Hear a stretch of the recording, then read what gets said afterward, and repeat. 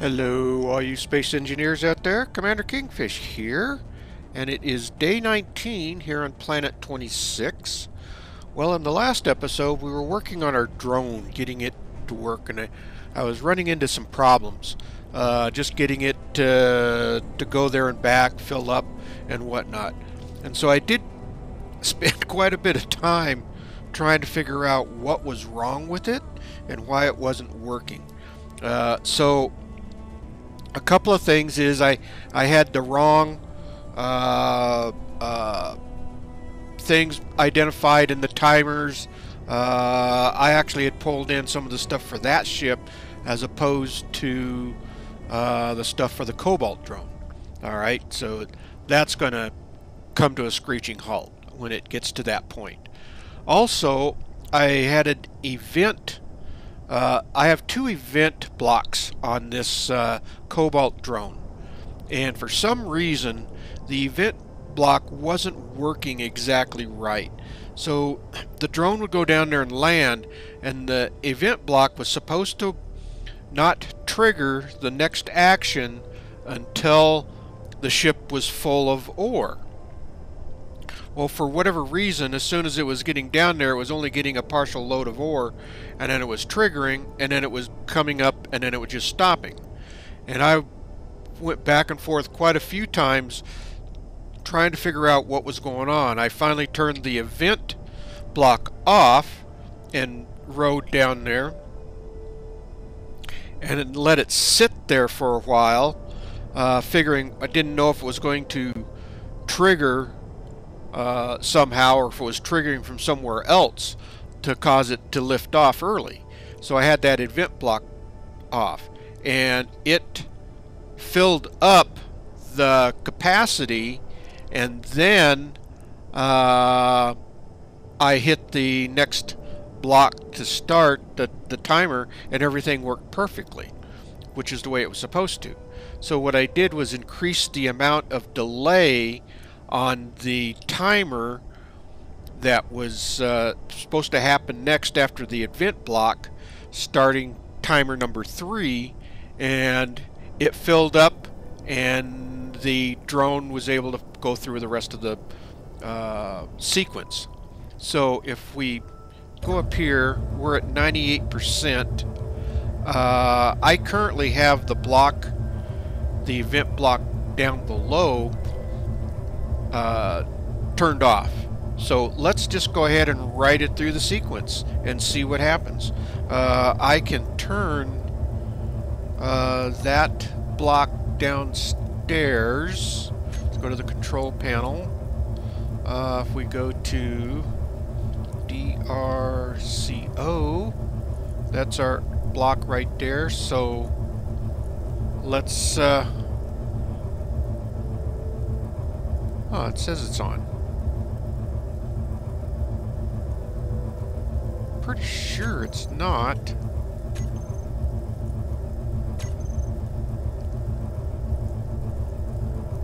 This should have taken off?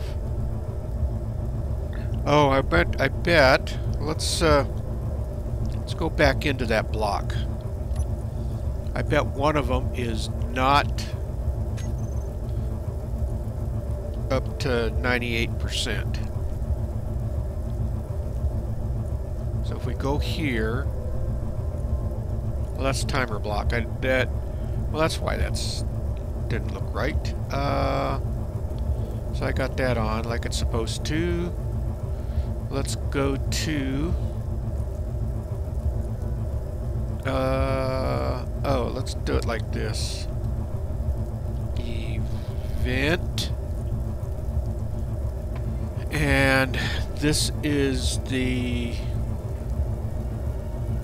one I want. So yeah, I have it off. Threshold, they're both at 100%. So as soon as I toggle this on, we are going to take off. So if we do that, uh, as soon as I set it, of course it's not working. That should have taken off. There we go. Alright, so now it's going to uh, fly up to waypoint 1, and that's where it's going to start timer block number 2. And that timer block is turning on the basic AI, which allows it to take off flying. Now it's going to fly to Cobalt position 1, and now it's flying to Cobalt position 2. And then from there, it will fly to Cobalt position 3. Also that timer block turned on the advanced collision and turned off the precision precision flight. And then it also turned uh, timer block 1 off. Now the basic AI, as soon as it hits uh, Cobalt number 3, it's going to start timer block number 2. So once we get to that, uh, as it's slowing down. Now one of the reasons we have the basic AI is so that you get more speed. The flight recorder blocks tend to go much slower because they're flying position-wise. So now we've just turned on timer block 2 which turns off the basic AI number 1 behavior and it turned on flight recorder 2 which is now bringing us over to the uh, cargo bay where the cobalt is. Now, as we land, you're going to hear the uh, resource node pounding away. And there we go, as we're landed.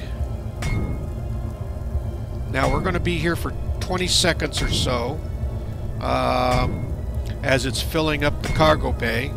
And let's see if we can kind of see that. So our connector's full. Everything's full on our uh, drone. Now it should be lifting off here pretty quick. Like I said, I probably could have uh, done a little less of a delay on there. Uh, but I wanted to make sure that it would get full. So there we go. Now it uh, unlocked, which is what it was supposed to do. And uh, it should have turned off or turned on the timer block 3. As you can see, now we're heading, getting ready to head back. Uh, and we are now on uh, flight recorder 3, which unlocked and started timer block 4, which uh, is turning on the basic AI, which is taking us uh, back the same route that we came in on.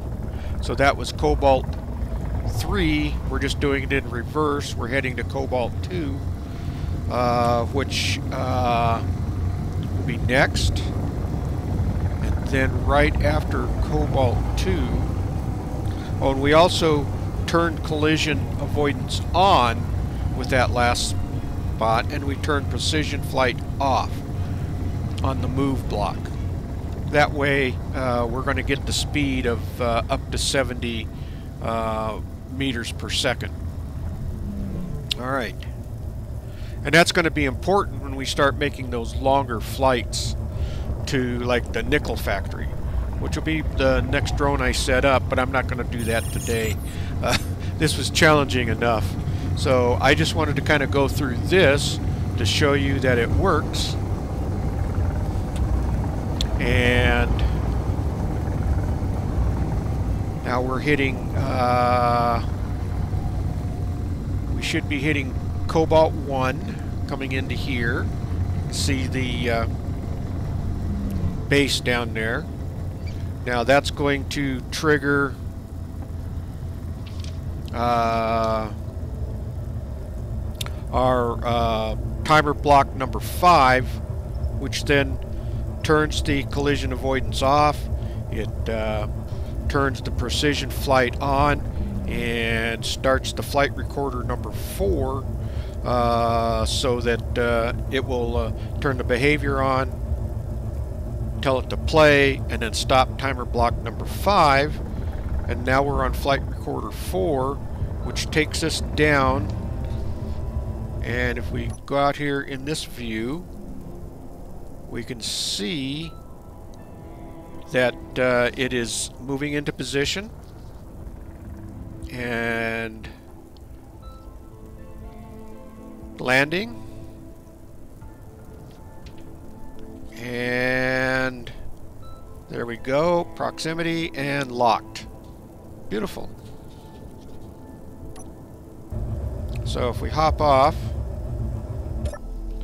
now I have this all set up on a event here at the base so if we go down and we look at the event controller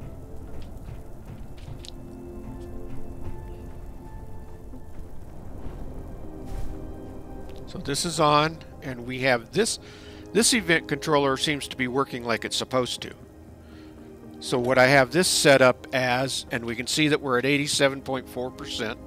So it's going to start the, if we look at the select actions, it's going to start uh, the timer block, which is right next to us here.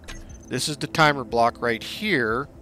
So this will start that timer block once we have hit the stored power percentage equal or greater than, and I set a threshold of 98%. You don't want your drones falling out of the sky because they've ran out of power. So now uh, you can see that it used up uh, probably approximately 83, 84% of its power uh, flying there and back. So that's going to be something I need to check when I do on these longer flights to see if I have enough battery power on them. Uh, so uh, what will happen here now is once this reaches this threshold, it will start the timer block, which over here is set to start uh, the flight recorder task one and then uh, play the uh, scenario or the uh, flight recorder for that one and then it turns the uh, timer block off or it stops the timer block so that is the scenario and getting it finally fixed. I'm going to let it uh, cycle through and we can watch it take off and then come back. And in the meantime while uh, we are doing while that's happening I've already gone down here and renamed everything on this uh, uh, drone. So I've got this drone all named. If we go in here we'll look at the control panel. And if we go dr-ni for nickel you see I've got that all set up and ready to go as far as the naming conventions uh, I've got the antenna named the nickel drone just like I have cobalt drone on the other one uh, the we need we're going to have to increase this up uh, probably so that's 15 kilometers, 22, 24, 25. Uh, it, yeah, we have to have 50 kilometers on this because that nickel factory is 40 45 kilometers away so or 42 kilometers so I'm hoping that just because it's transmitting that that's not going to create any problems with these. Now, with it being out this way and with those facilities being there, my plan is to fly out over that way and then kind of come into the nickel uh, plant uh, from that direction. And so we'll set up the coordinates. And what I might end up doing today is just at least making that flight to see how much power I have in the batteries. Uh, if uh, I'm not there yet and I've already reached 50% on the power, then I know I have a problem because I, I need to at least have probably 60 to 65% on the power flying out versus because uh, it's going to have a load coming back so it's going to use more power coming back so that's something we'll have to check out And while this thing is charging, let's see what it's up to.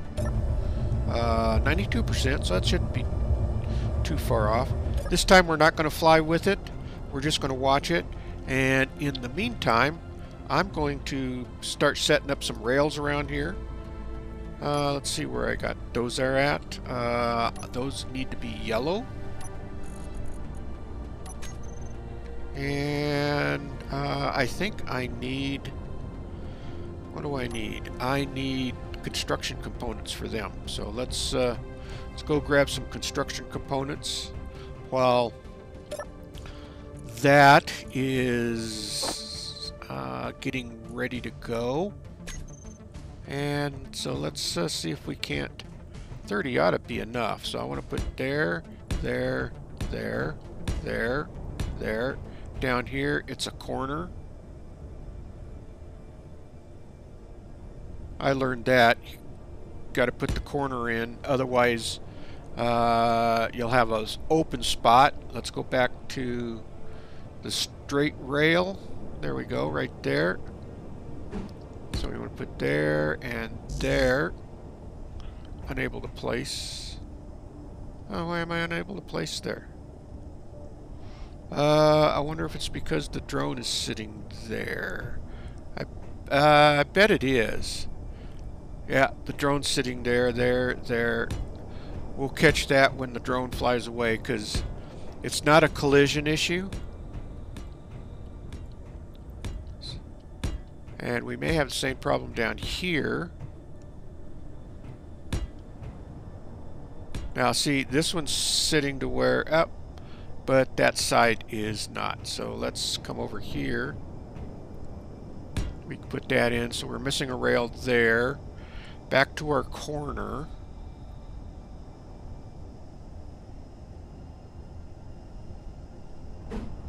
There we go. And back to our straight.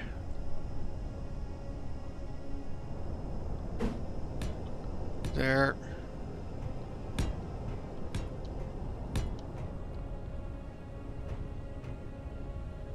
Oh, I gotta take this, I remember, I gotta take this out.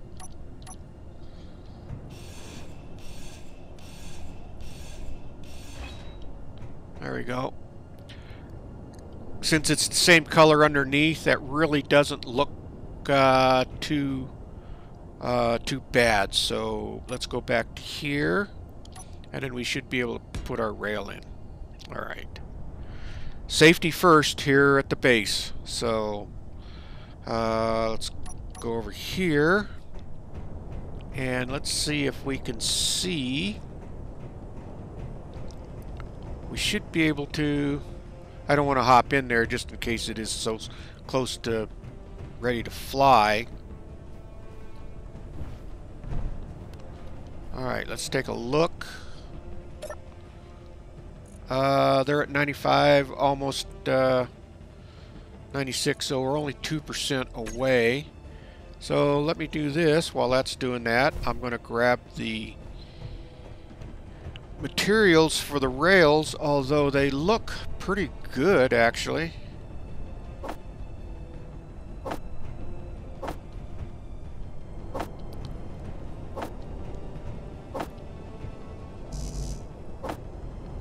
And, uh, Oh, I'm full. Alright, we should be able to grab enough components now. Can start building those out.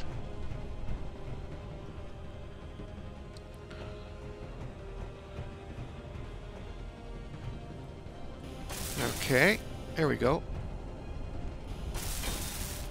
A completed one adds that second rail down below, which is kind of nice. It looks pretty good. Okay. Got this going. This thing ought to be getting close to taking off. We're going to let it do its thing. So I'm really kind of curious on if these rails... It shouldn't. They shouldn't interfere at all. It should come down uh, because I have collision avoidance off, so it really shouldn't affect those. Alright, let's grab more stuff.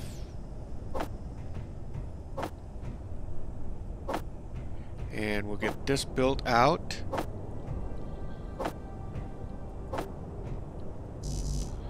Okay. Uh, oh, no, I don't have these hooked up. And actually, these are set to only pull from, uh, or to only allow ore to go into the cargo container, so.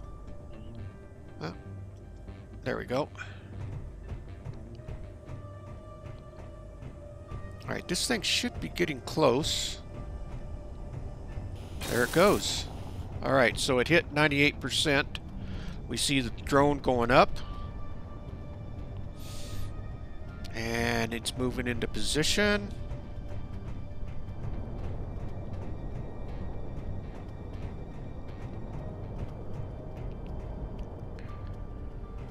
And we'll watch him fly off there. Actually, we'll just uh, kind of keep an eye out for him. So he's kind of doing his thing. Let me finish welding these up. Actually, what I should do is, uh, well, he is gone. Let's uh, do this. There we go. I'll get out of the way. Let's get these welded up. There we go.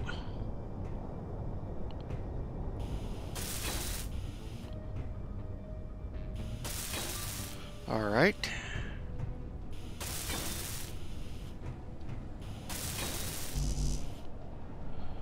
Okay.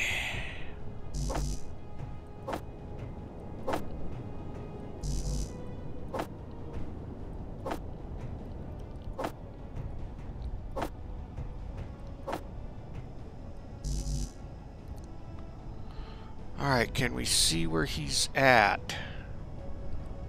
He is there at... Looks like over at the base. And looks like he's land, uh, getting ready to land. So here's what we're going to do. I am going to do this. Because I'd like to get a screenshot of that flying back in.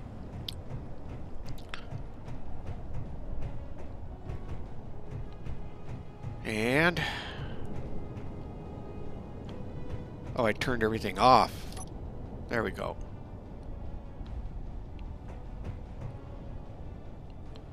Okay, he's uh, set down.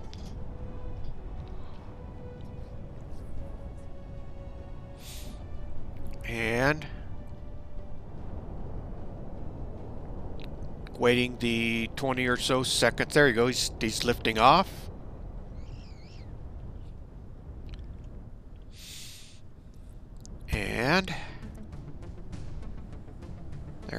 He's paused there just for a second. He's starting to work his way back. Okay. All on its own.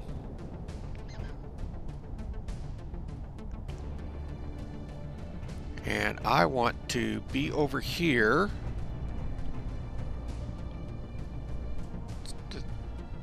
see if I can't catch a screenshot of the drone coming back in.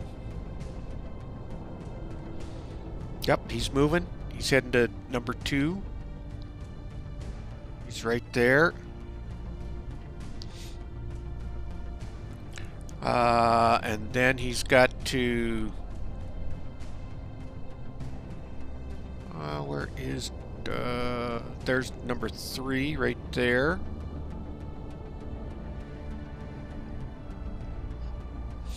This is exciting when something actually works. I gotta tell you. I can't tell you how much time I spent trying to figure this thing out uh, after I finished the last episode. So, come over here.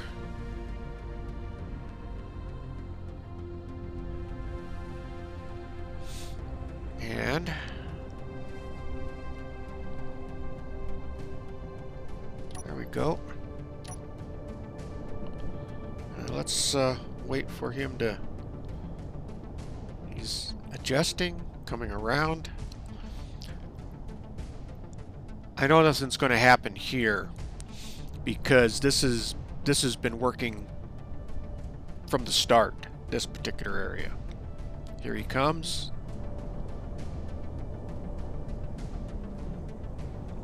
And let's, uh, as he's coming down,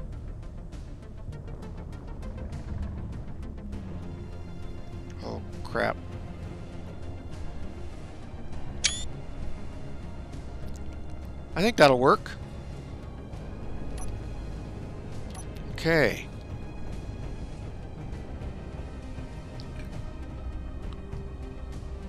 And he's back. So, I am actually going to turn the event off and just let him sit there. I have managed through all of the testing and, and trying to figure out what was wrong. Uh, I've got enough cobalt stored away over here. So I'll give you, kind of show you what I've, how much I've got in the bin. So if we come over here, and you can see I've got 188,000 just in uh, raw ore. And if we go cobalt, if we go coal, all right. It should. Alright, we'll get down here. Here's in the refinery. We've got another 10,000 in there. Uh, we've got another 4,000 here. And then if we go to this large cargo container, We've got another 5,000 there out of the refinery. So I've got more than enough cobalt on hand now uh, as we move forward. And I'm sure the assembler probably... Uh, it doesn't have anything in the assembler. Uh, uh, I don't see anything in the assembler. Anyway, we're going to have a boatload of uh, ore. So the other thing I'm going to do, since once I get all these drones in production, I'm going to need to put another refinery, and that's going to be pretty easy. I should just be able to uh, take this out, take this out, and just move those over, and then put a second refinery right here. They only uh, take up uh, two blocks, so uh, and I'll be able to just to connect another industrial refinery right here and put that right there. And that should help process those ores. And also I'll be able to put all of their upgrades when I get to that point. So uh, let's uh, go up and get those rails finished. And let's see here. Uh, I can't remember. Did I, uh, I know that, uh, and, oh, the nice thing is that these rails didn't have any effect on this here. So it was just a matter of, alright, so, let's see, uh, let's see, oh, I guess I just need to go grab the parts. So let's go grab the parts. We'll try to get these rails down around here. And probably, I've been talking this whole episode. So it may not seem like we got all that much done, but I thought it was important to show you all uh, how uh, the drones work and the fact that uh, I actually did get it to work. So let's uh, get these rails done. Alright, so let's uh, grab that. Grab that. And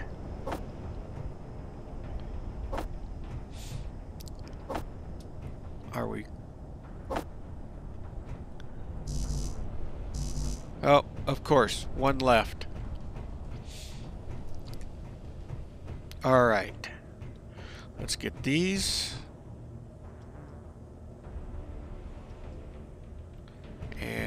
Finish building these rails out. I'll have that one missing uh, that is sitting in front of this. Which, once I move this, I'll be able to put uh, uh, put that rail in.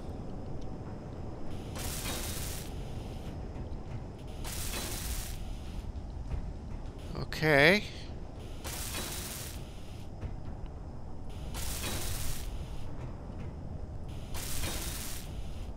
Now the other thing, I got to put lighting up around here, and I got some ideas on how I'm going to do that. And I think we Let's go grab that real quick and we'll have that done.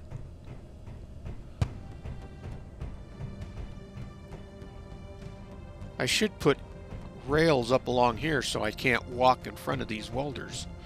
The fact that they're off is probably a good thing, obviously. Okay.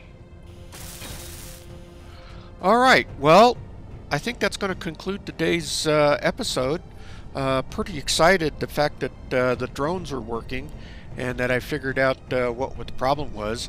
Now they were working just fine in creative and so but it probably has to do with the fact that the uh, in creative the bins were completely full and so that was pushing everything up immediately into the drone. And so it wasn't having that didn't need that delay in there. Uh, as to where this one uh, here in survival it did need that delay uh, on that one timer block.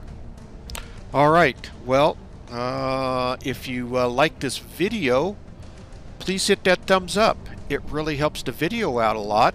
And uh, please subscribe. That really helps the channel Alright, all you space engineers out there, keep building away, keep your heads low, and don't get shot. And with that, Commander Kingfish is out of here, and I will see you all in the next video. Thanks for watching, everyone.